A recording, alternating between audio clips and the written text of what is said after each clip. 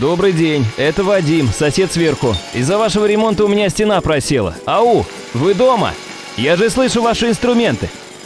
Алло, это Жек?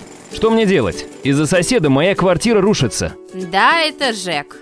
У нас рабочий день уже закончился. Звоните послезавтра с 11 до 13. Да как же это? Вадюш, ну, не нервничай. Но нужно что-то делать прямо сейчас. Помнишь, Валера рассказывал, как решил проблему с аварийным деревом во дворе? Обратился на платформу «Отклик». Кажется, вариантов больше нет. Отклик.com UA. Готово. Должны откликнуться. Есть щель, есть провисание плиты небольшое, но просто насколько, я не понимаю, насколько это критично. Мы инициируем вопрос выезда сюда комиссии. Оставляй отклик на нашей платформе. Давай менять страну к лучшему. Привет, дорогие друзья! Что-то мысли гонца э, за суетой, сует э, позабыли о Светлане Тихановской. Про Светлану шутили в свое время, что у нее столько же реальной власти, сколько и у Зеленского. Э, но это не оказалось неправдой, потому что Зеленский сейчас – через э, СНБО, вводящий санкции налево-направо, указом увольняющий судей Конституционного суда, преследующий по закону судей Верховного суда, которые назвали его решение незаконным, он, э, в принципе, уже может возглавить монархию и даже ввести правление зеленых полковников. Мне кажется, к тому идет. И тем не менее, кое-что общее между Зеленским и Тихановским, конечно же, присутствует. А именно, это умопомрачительно сильное желание заручиться поддержкой старших. К примеру, Зеленский ездил к Меркель, просил, потом махал из-за из океана рукой, чтобы Меркель у Байдена попросил. Он, короче, постоянно пытается заручиться чьей-то поддержкой и через своих вассалов, сейчас уже рассказывают, мы пойдем к Китаю под крыло и так далее. Да, Тихановская после открытия ее типа официального представительства в Вильнюсе отправилась в Соединенные Штаты Америки. И было заявлено, что Тихановская там встретится просто с самым, э, самым главным истеблишментом. И тем самым, но ну, она как бы вроде подтвердит, что она является легитимным лидером. Вообще, если вспоминать э, выборы в Соединенных Штатах Америки, то все Нексты и прочие очень сильно ждали победы Джозефа Байдена, ловили практически каждое слово Джозефа Байдена и очень сильно надежды возлагали на Джозефа Байдена и вообще на демократов. Они ликовали, когда вопрос Беларуси упомянули среди возможных к обсуждению на Женевском саммите. Расчет был такой же, как в Украине. Придет э, знаменитый враг Путина, задавит санкциями, Беларусь устроит там демократию по примеру украинской. В Украине, если уж на то пошло, также ликовали э, наблюдая процессы в Беларуси, потому что, по всей видимости, отдельные наши Шлеперы рассчитывали на места в наблюдательных советах стратегических отдельных предприятий. но ну, что-то не сложилось. Соломия Бобровская, Алексей Гончаренко и тому подобные персонажи, в том числе Свободовка, Оксана Савчук, предлагающая сейчас вести преемственность Украины от УНР, все они были очень разозлены на Беларусь, когда им, их туда не впустили. И теперь хотят рвать даже э, дипломатические связи. Короче, Тихановская – отправляется с официальным визитом, э, с кортежем, охраной, отправляется в Соединенные Штаты Америки. План ее визита достаточно интересен. Э, должны быть э, встречи на высоком уровне. И согласно заявлению пресс-службы, звучит этот план так. 18 июля в воскресенье Тихановская увидится с диаспорой, 19 посетит Госдеп, за эти дни она собирается встретиться с конгрессменами, с сенаторами Палаты представителей, представителями агентства USAID и журналистами. С диаспорой Светлана на самом деле встретилась в Вашингтоне, назвав это самой классной частью программы. Я думаю, что это можно назвать даже самой содержательной Э, частью программы и самой наполненной частью программы Светланы Тихановской. Внушительной частью программы. Со всех штатов собралась толпа примерно такой же численности, как Змагары на Майдане Независимости собираются. Тихановская пообещала им обсудить с американскими властями права человека, репрессии в Беларуси. Никогда не могла представить, что представители оппозиции не только будут принимать на самом высоком уровне в Вашингтоне, но и ставить в пример стойкость и смелость белорусов. Также заявила,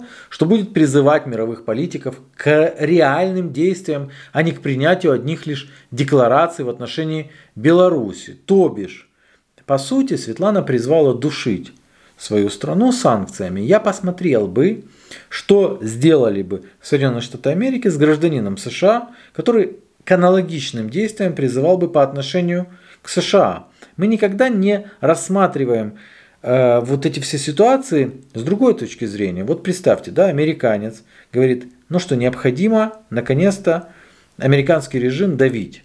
Но давить не выборочно вот этого, вот этого, вот этого чиновника, да, потому что, как я понимаю, что белорусские чиновники и так находятся под санкциями, но давить само государство. А что такое государство давить?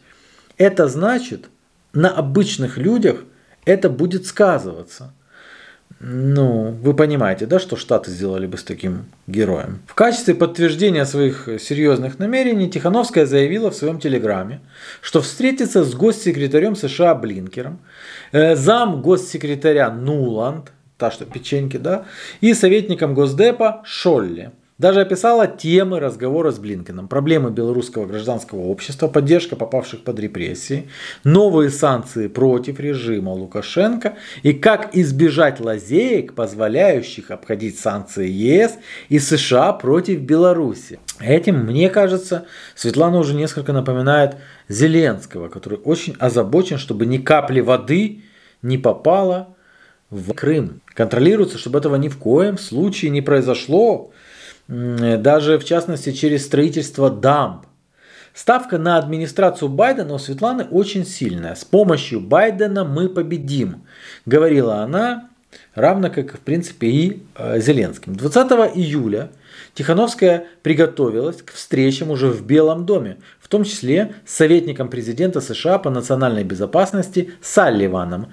Но где-то тут официальная версия начала давать сбой. У пресс-секретаря Белого дома Псаки ранее спросили, встретятся ли представители команды президента с Тихановской. На что Псаки ответила, что у нее такой информации нет. Более того, она даже переспросила, а типа, ну, должна состояться такая встреча. Уже сейчас, забегая наперед, я должен сказать, что э, сейчас уже Псаки сказала, что встреча с высшим руководством ну, не запланировано. По всей видимости, она что-то уточнила. Как вы понимаете, встречи на таком уровне не планируются за три дня. Э, то есть такие встречи планируются за много месяцев до. Значит, нужно, чтобы было окно у Байдена или у Блинкина. Но журналисты дотошные не обнаружили 19 июля таких окон ни у одного, ни у второго. Известно, что Нулан планирует с кем-то встречаться, но пока что Виктория только звонок в Молдову совершила. Блинкин короля Иордании принимает. Даже те, кто кричат «Живе Беларусь», признают, что Беларусь в приоритетах американской дипломатии не стоит.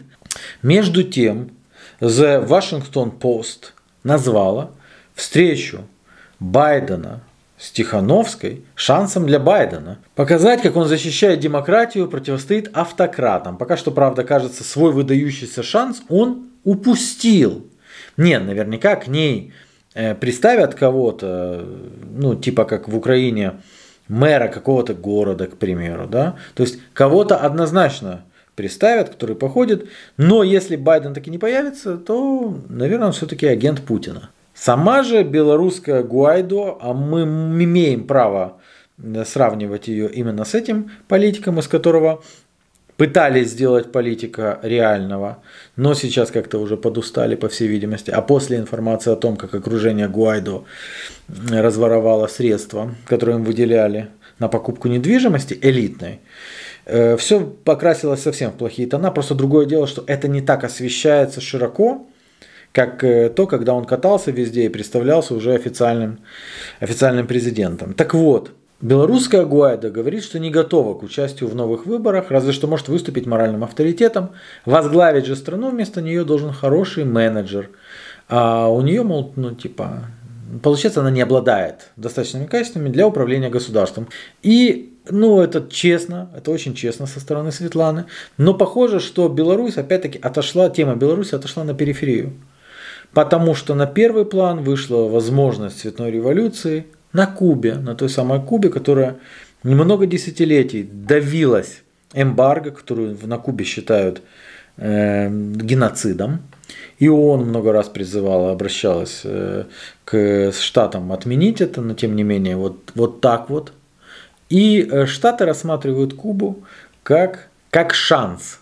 Сейчас беглыми кубинцами во Флориде и других штатах накачивается видимость поддержки интервенции. Еще и так удачно на Гаити просят ввести войска для наведения порядка. О том, каков масштаб этих митингов кубинцев, США предпочитают умалчивать, но есть предположение, что скорее они попытаются навести порядок у себя на заднем дворе, то бишь на Кубе. Э, если вмешательство состоится, после Афганистана это будет выглядеть странно, но ладно, если вмешательство состоится, то жаль, конечно, кубинцев. Но, тем не менее, такой исход был предсказуем. А вот если Штаты не вмешаются в события на Кубе, кто тогда поверит, что Байден готов воевать за Украину и Беларусь? Особенно с Россией. Вполне возможно, разве что сама Светлана Тихановская. Смотрите, визит Светланы еще вот на, на момент записи этого блога не, не закончен. И вполне возможно произойдет какое-то чудо.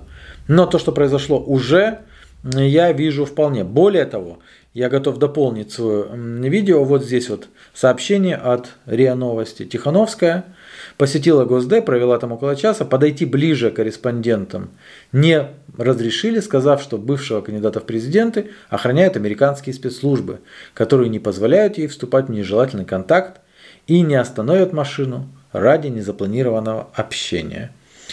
Э, можно предположить, что это сделано для того, чтобы журналисты не задали те вопросы, на которые Тихановская ответит неверно. У меня все. С большим уважением к белорусам, с любыми политическими взглядами. Мне просто всегда интересно проводить параллели. Пока. Привет, Ник партия Ширья. И к нам обратился Андрей, наш сторонник, касательно того, что теплосети после того, как провели плановые ремонтные работы, не привели за собой в порядок территорию, остались разрытые ямы. Я обратился к партии Шария, чтобы они помогли нам решить нашу проблему, которая длилась где-то год. За определенное время оперативно зарыли ров, который здесь оставили теплосети, и через некоторое время уже заасфальтировали дорожку и сделали нам комфортное проживание. И вот здесь вот люди обходили, здесь мы строили мостики специальные, переходные, чтобы люди обходили вот здесь. Здесь пришлось нарушить клумбу, тут была клумба с цветами, потому что ее тоже трактором разорвало здесь. И нам мы так вот обходили здесь, вот, натоптано. Рады, что смогли помочь Да, более спасибо. оперативно Да. решить этот вопрос. Благодарю.